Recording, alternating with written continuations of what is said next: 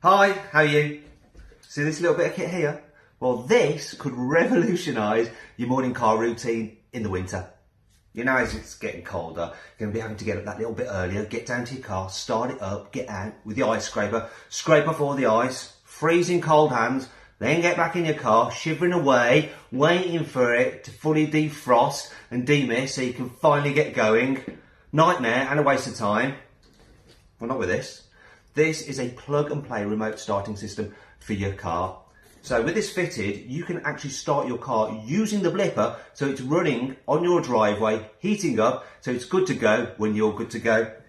It's a plug and play system. It's actually quite easy to fit.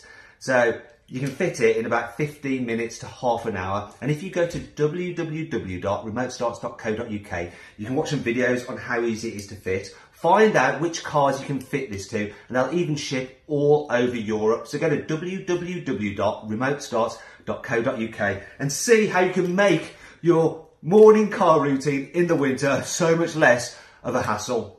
What I'm going to do now is let you see a video of it actually working on an Audi Q7. Also, the link to the website is in the description to this post, so go check it out. See if this could revolutionise your life. This is an Audi Q7 and it's locked, but with this remote, if I press it twice, I can actually start it remotely from up to half a mile away. Should do its thing now. Now, why would you want to start your car remotely? Well, let's say it's a really hot day and you want to get into it without it being baking hot and you need the air conditioning running, your remote start it. What about if it's winter and it's all frosty and you don't want to get into a freezing cold car and you don't have to wait to defrost the windscreen? Your remote start it.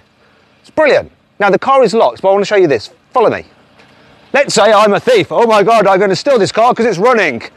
I smash a window, I go to get in it. Yes, I'm going to get in this car. Ah, oh, it's cut. Yeah, there are security measures to prevent people stealing the car. All right, to find out more about this, because it's really cool, swipe up to go to remote starts. Go check it out. It only costs from £600.